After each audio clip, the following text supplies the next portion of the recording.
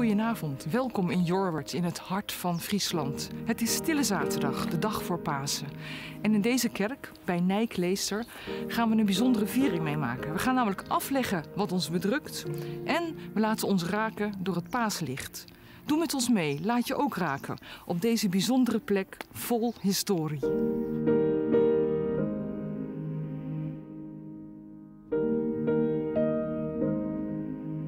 Was het op het Friese platteland een drukte van belang. Er werd geploegd, gezaaid en geoogst. De dorpen ontleenden hun bestaan aan de landbouw en de gemeenschapszin was groot. Die landbouw is er nog steeds, maar de mensen trokken weg. En scholen verdwenen, kerken raakten leeg. Ook in Jorwert. Maar daar is sinds vijf jaar een groep mensen aan het pionieren geslagen. Zij blazen de kerk nieuw leven in. En ze verlangen ernaar hier een nieuw klooster te stichten. Nijkleester heet deze pioniersplek. Het klooster staat er nog niet. Maar steeds meer mensen weten de weg naar Jorwert te vinden. Voor een wandeling, voor bezinning of voor een viering. Vanavond viert Nijkleester de paaswaken op de drempel van de paasmorgen. En wij, wij vieren mee.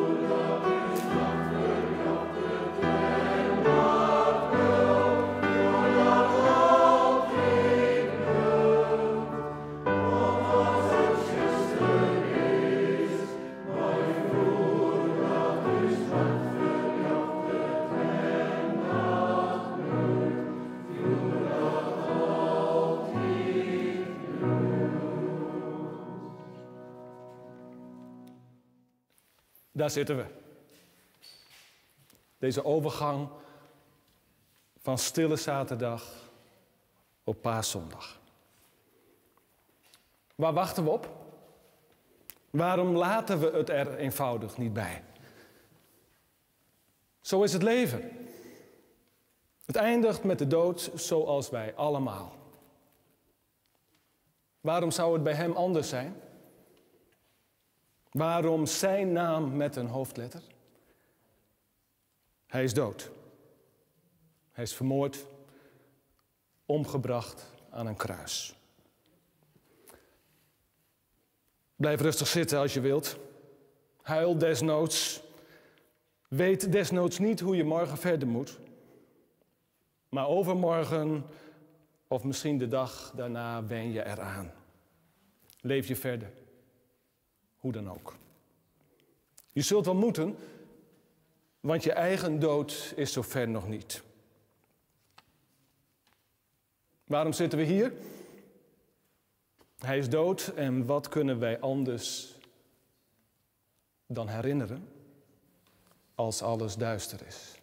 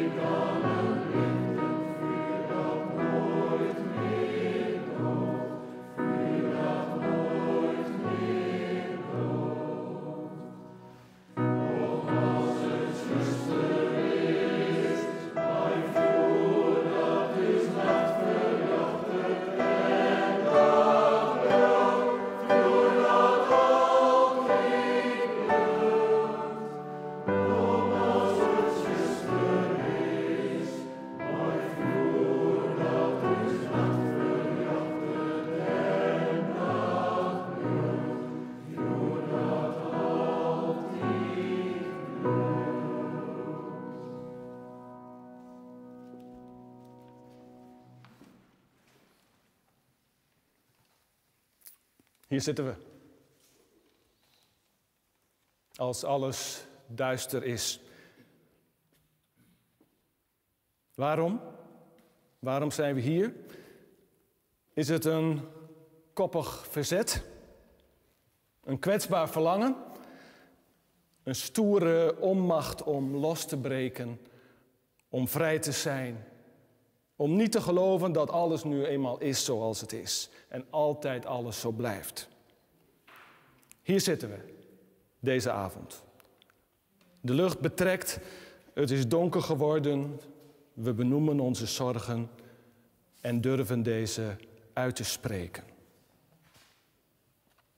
En we doen dat met woorden van het lied Wiensels, dat we in het Fries zingen. Het begint met de woorden: De lucht kleurt zacht, straks valt de nacht. Ik heb mijn zorg bij u gebracht en durf me uit te spreken. Een lied over wiensels, over winsels. Een première vandaag. De tekst door Trinsje, hier aanwezig. De muziek door Hindrik, hier ook aanwezig. Beide betrokken bij Nijkleestes. De loft berint, aast dwest het licht.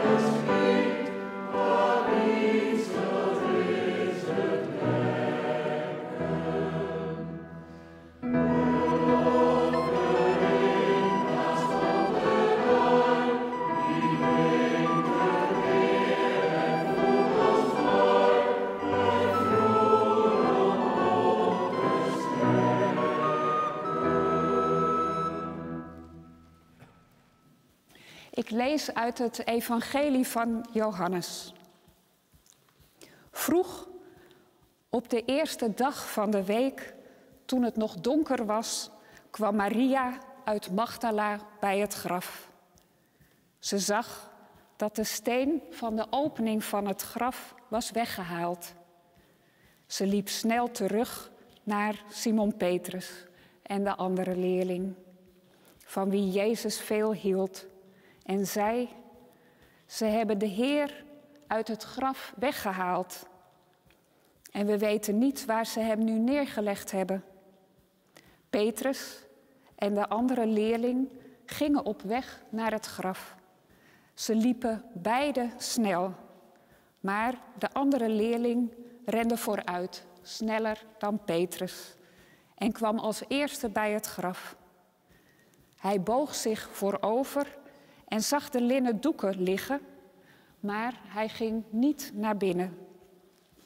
Even later kwam Simon Petrus en hij ging het graf wel in.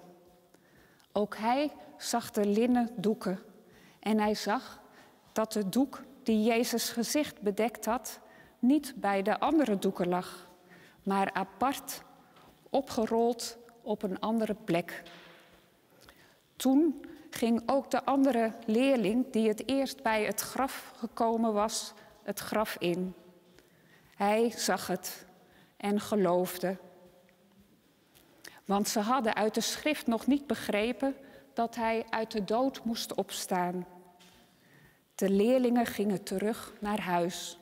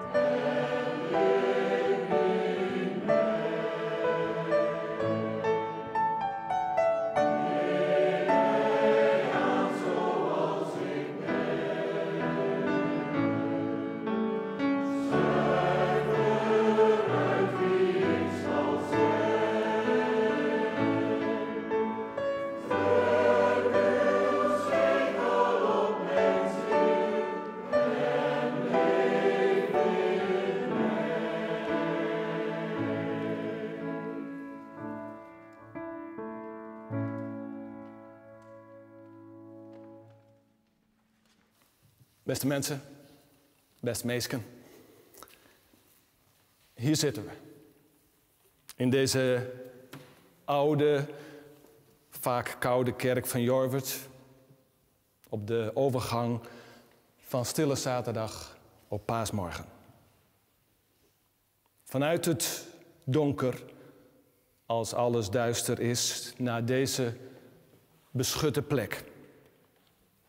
Een schuilplaats in een moment van overgang. En misschien gaat het niet eens zozeer om het moment zelf, maar om de ervaring die erachter verscholen ligt.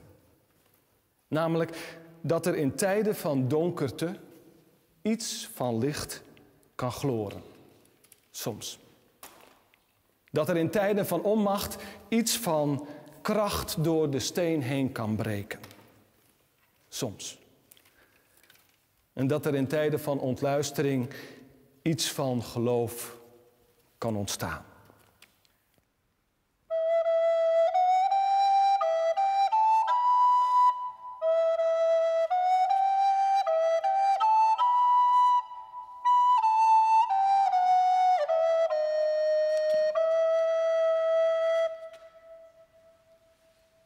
Hier zitten we.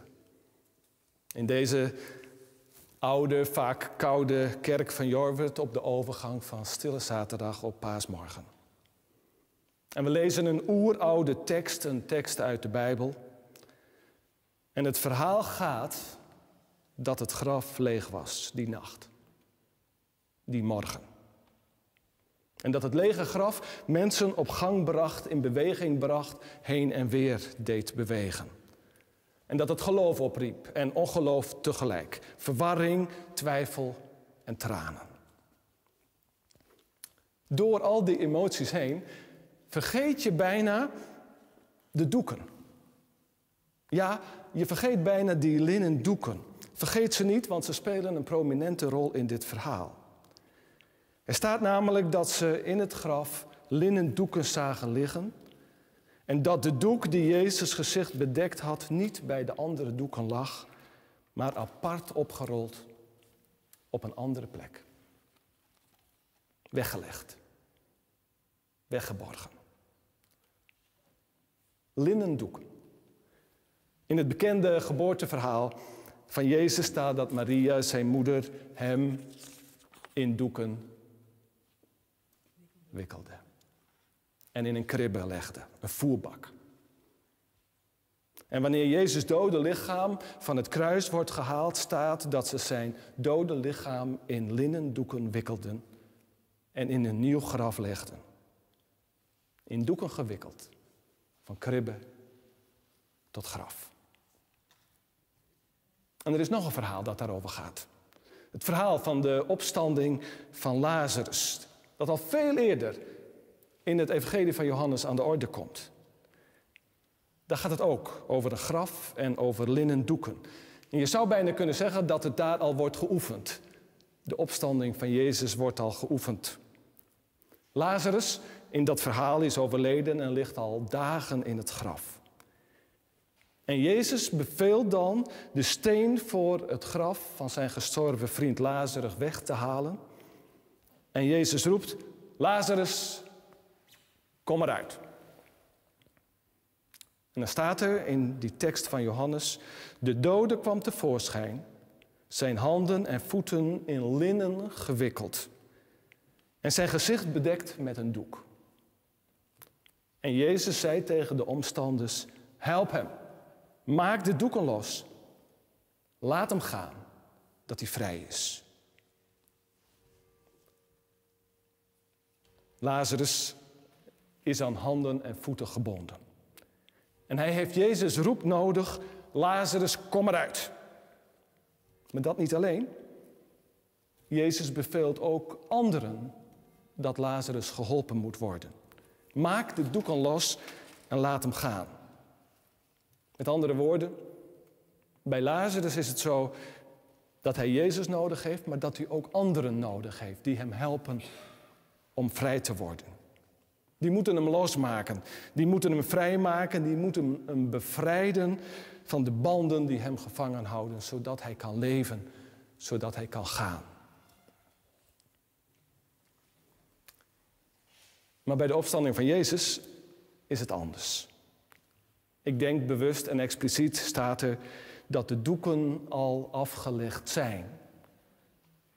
En dat de zweetdoek apart ligt opgerold.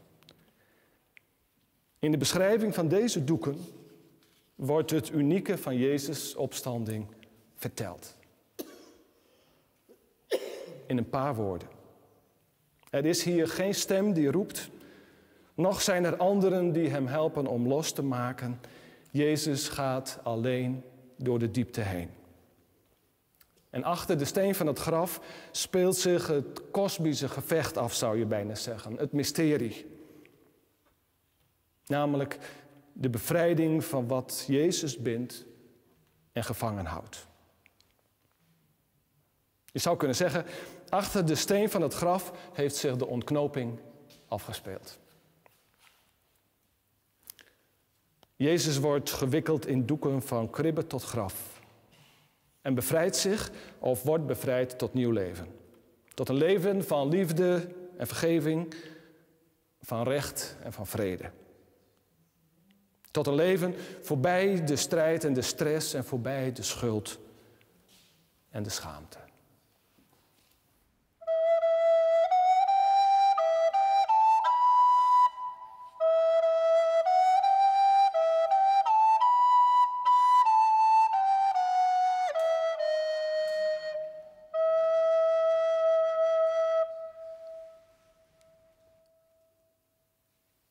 Hier zitten we. In deze oude, vaak koude kerk van Jorwert op de overgang van Stille Zaterdag op paasmorgen. Zijn we daarom hier? Vanwege een koppig verzet, vanwege een kwetsbaar verlangen, vanwege een stoere onmacht om los te breken, om vrij te zijn van de banden die ons binden, om in het spoor van Jezus vrij te worden dat wij zelf misschien verlangen naar die schreeuw van Jezus. Kom eruit. En dat wij ernaar verlangen dat misschien aan anderen wordt gezegd: help hem. Dat wij geholpen worden met het losmaken van die doeken. Laat hem, laat haar, laat ons gaan. Jezus heeft het verhaal van God voor ons uit de doeken gedaan. Hij is ons voorgegaan hij heeft het ons voor gedaan. En nu zijn wij aan de beurt. Het is aan ons. Aan een oeroud verhaal uit de Bijbel alleen hebben we niet zoveel. We hebben er niet zoveel aan als het niet gaat over ons leven in deze wereld. We hebben niet zoveel aan een oeroud verhaal als het niet gaat om ons en het leven met de mensen om ons heen. En we hebben er niet veel aan als het niet werkelijk gaat over ons eigen leven, als het niet gaat over ons geestelijk leven, als het niet gaat over onze eigen ziel. De uitnodiging ligt in deze nacht klaar. En de stem klinkt: Kom uit je graf en maak die doeken los. En ga. Ik nodig je vanavond uit om stil te staan bij waar je zelf vrij van wilt worden. Waar je los van wilt zijn. Of waar je je los van wilt laten maken. Wat is jouw verlangen? Waar ligt jouw verlangen naar bevrijding? We hebben een winsel zelf. Je kunt het straks afleggen als je wilt. Wie weet, vraag je iemand om te helpen je het af te leggen. En zo vierden wij vanavond, heel voorzichtig nog en in het donker, de opstanding van Jezus. Hij heeft het verhaal van God uit de doeken gedaan. En ik zou bijna zeggen, nu mogen we zelf uit de kast. Nu mogen we zelf uit het graf komen. Nu mogen we zelf tevoorschijn komen en ons uit de doeken laten doen. Amen.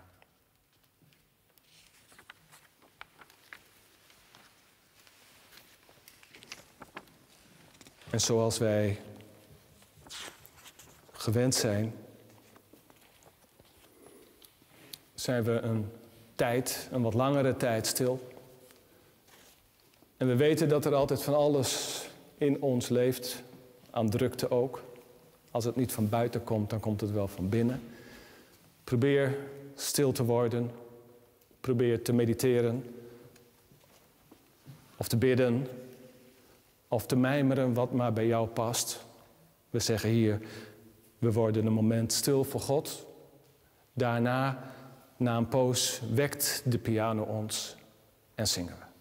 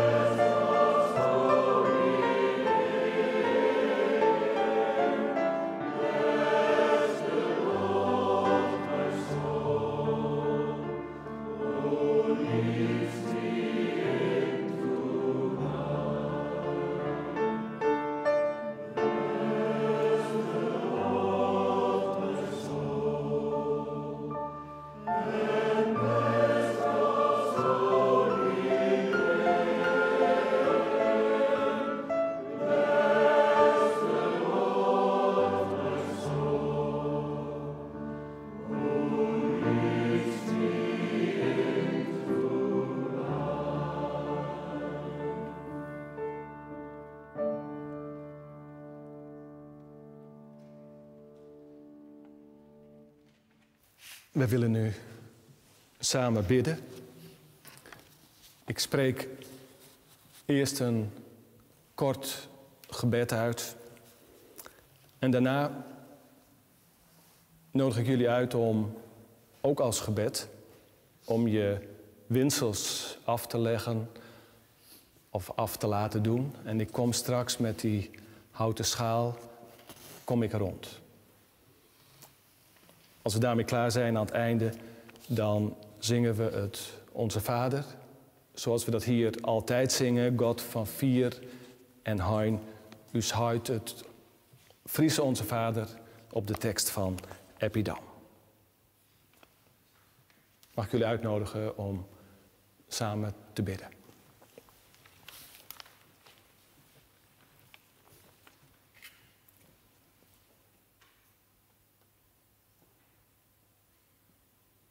Eeuwige en goede God, we danken u voor de schoonheid van de schepping en de rijkdom en diversiteit aan mensen. Maar tegelijk bidden we voor alle mensen in iedere situatie waar ze soms letterlijk aan handen en voeten gebonden zijn en geen kant meer op kunnen. Wij verlangen naar bevrijding.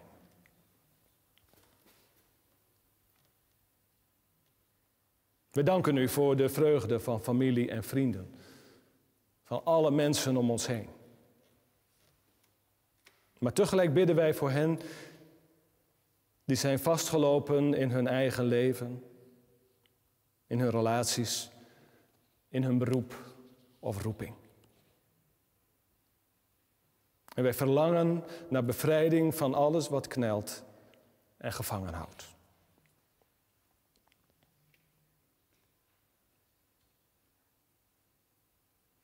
We danken u voor ons eigen geluk en genot, voor het goede van ons eigen leven. Maar tegelijk bidden we voor onszelf wanneer wij in onszelf vastzitten. Ons opgesloten voelen door angst en onmacht, door schuld en schaamte.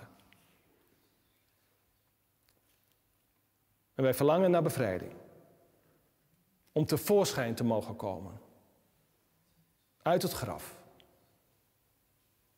en in het volle licht te mogen staan. En zo bidden wij door onze winsels af te leggen, af te laten doen en die verzamelen als een gezamenlijk gebed.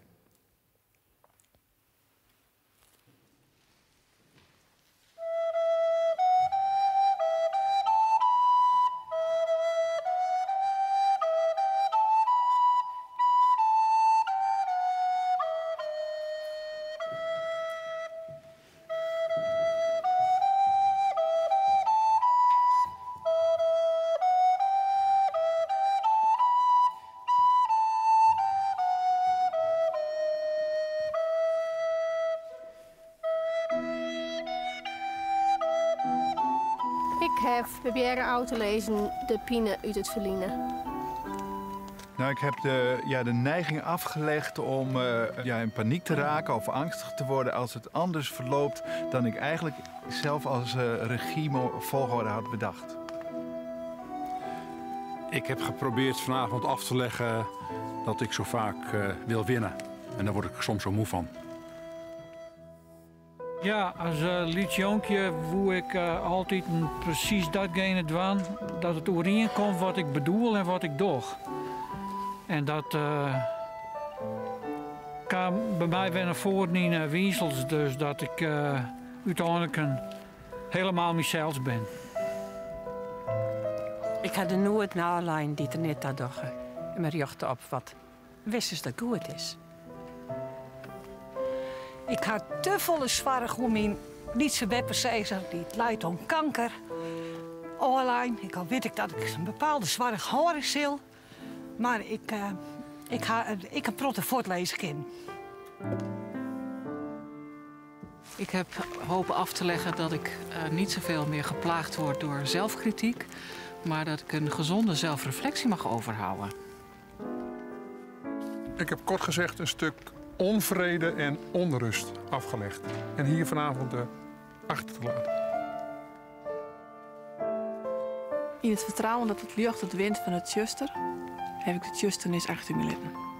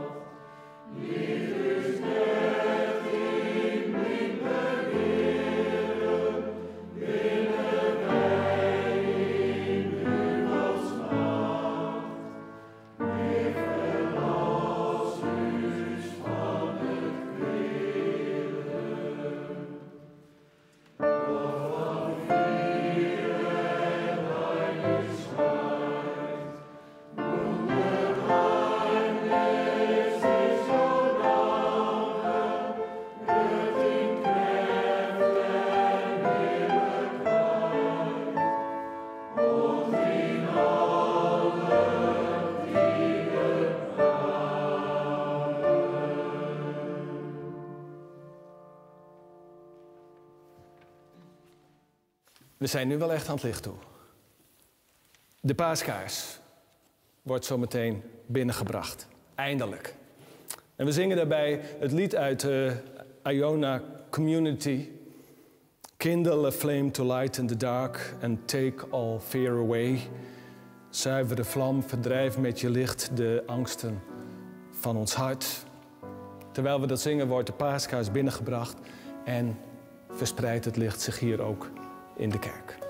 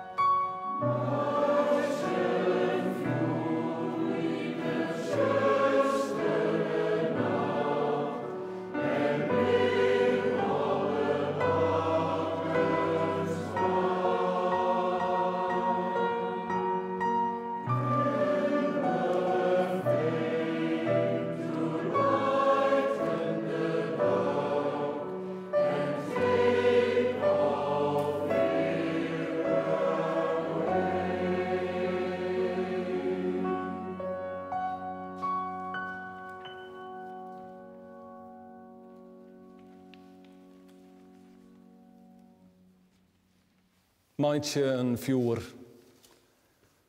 Zuivere vlam, verdrijf met je licht de angsten van ons hart. We sluiten af. We gaan straks staan, klaar om te vertrekken. Om deze plek, om deze kring van mensen weer los te laten. Ga de nacht in en waak tot het ochtendgloren. Blijf opstandig zoeken naar een nieuwe wereld. Koester je kwetsbare verlangen naar een bezield leven. Laat je niet aan banden leggen, maar beteugel je onmacht.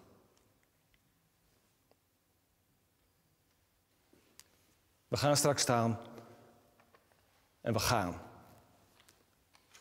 Doe het verhaal uit de doeken. In je doen en in je laten. In je spreken en in je zwijgen. En wees daartoe gezegend. In de naam van de Vader, de Zoon en de Heilige Geest. Amen.